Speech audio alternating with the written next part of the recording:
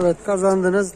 Devam ediyorsunuz. Neler söyleyeceksin? Hayırlı akşamlar diliyorum hocam. Ee, kazandık. Zaten e, liderliği garantilemiştik maçlarında.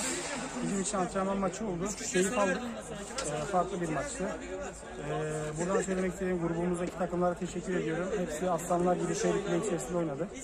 Varsa olsun, Lyons olsun. Zaten sürekli oynadığımız takımlar. Onlara da kalan maçlarında başarılar diliyorum.